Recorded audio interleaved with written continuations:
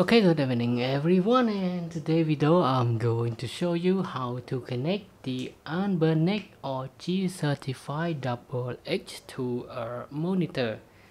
Okay, to connect it to a monitor you need to make sure that your monitor have the HDMI connection port and to connect it you will find out on this location the mini HDMI connection on your Anbernic and you need to have a cable connect to it. The mini HDMI cable convert to the HDMI cable so it will available on any camera shop on your location. You can find out.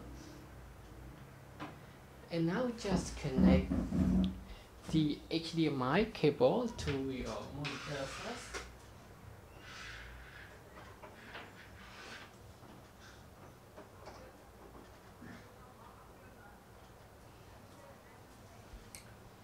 After that, connect another side to your mini HDMI and you now can hear the sound come from this uh, speaker when we connect it.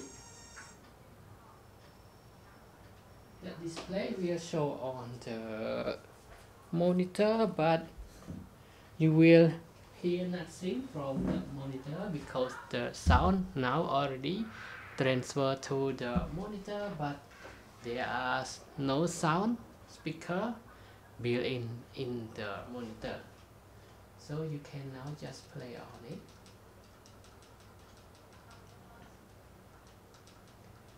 okay now I just try to test playing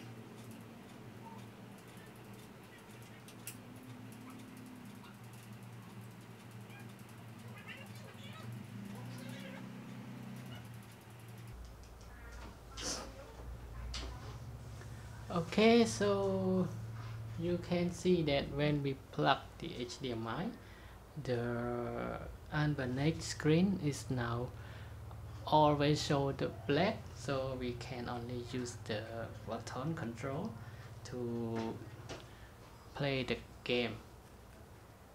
This is for the saving battery on your Anbernic and now I hope you got the point of how to connect your Anbernic or G certified double X to a monitor.